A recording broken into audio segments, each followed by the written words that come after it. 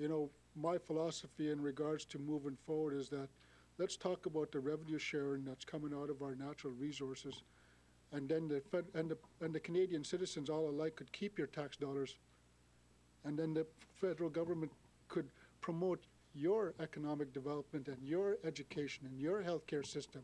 We could do that with our natural resources that are coming from our traditional territories, and then we could say about how sustainable development is going to occur. Negotiations are still at the table, but what is Canada going to negotiate when they come to the table on your behalf? We're getting a little short on time, folks, so we have two more questioners, and I think we're going to wrap it up. I'd just like to add to that. Um, the provincial government and federal government, the, when we're going to negotiate, they put policies and regulations in place on how to negotiate. They come to us as uh, with uh, their minds are already made up of how they want to share with us, and it's illegal, but yet we sit and try and talk to make it um, to move forward for our people. But it comes to a point where you come you don't even negotiate. You just try to um, appease their policies and regulations. And I think we're a little bit tired of that now. We do own the land in BC.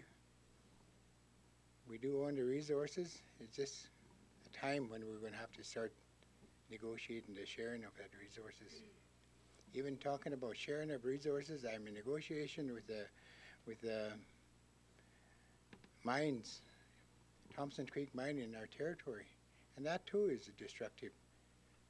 We live downstream from that, and that mine's been there for since 1962.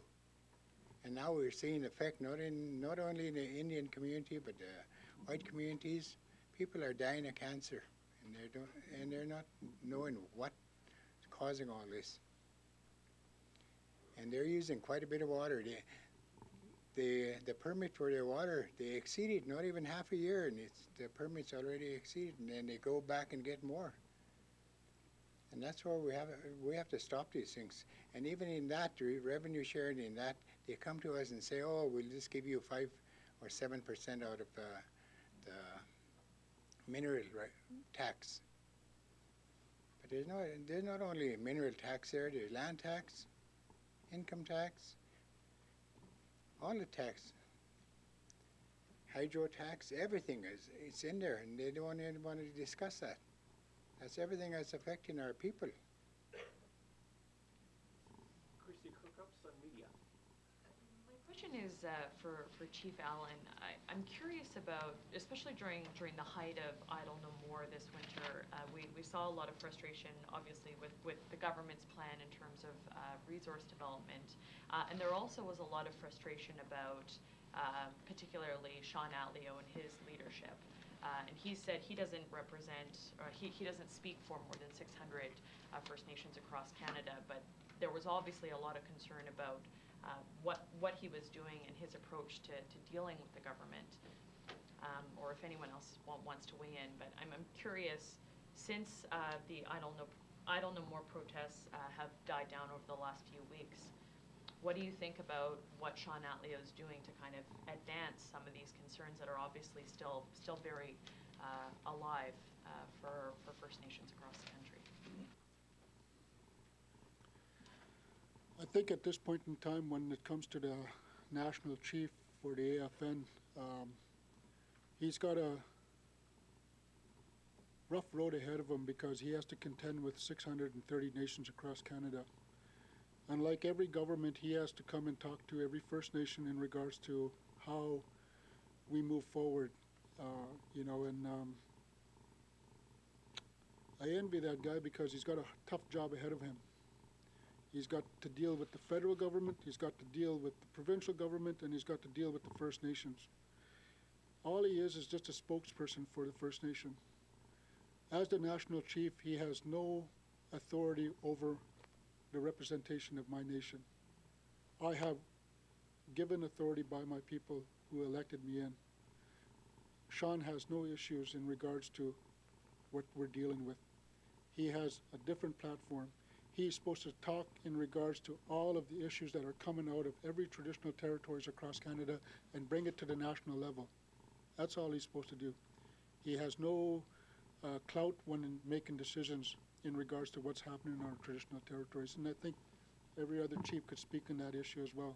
You know, and I, I truly believe that uh, what the government is trying to do is trying to focus their attention and to say that the AFN speaks for the First Nations right across Canada.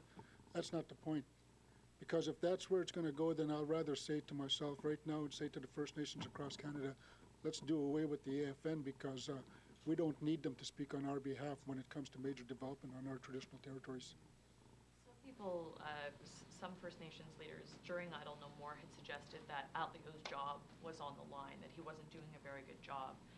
Do you think his job is safe now, or could it be?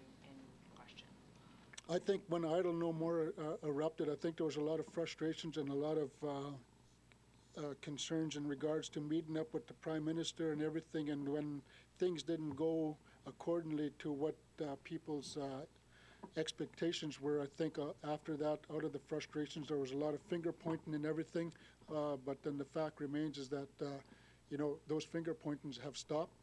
Uh, I will, you know, if, if people were calling for Atleo's resignation, I basically went on and said the fact that, you know, we voted Atleo in there, he stays in there until his term is up, because uh, if we're going to unite, we can't start pick, pick, picking off our own leaders at that point in time, and therefore, regardless if I'm a supporter or not, I still stand behind Atleo in regards to pushing the First Nations issues, in regards to uh, missing and murdered women, uh, child care uh, welfare system uh, where the children are still being apprehended uh, from post-secondary residential school syndrome because it's still in play.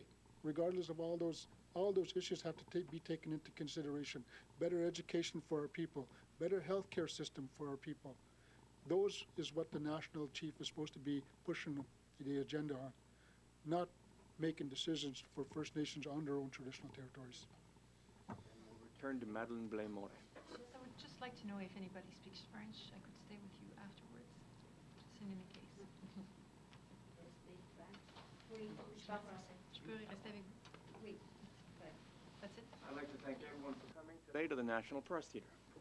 Thank you so much. Thank you.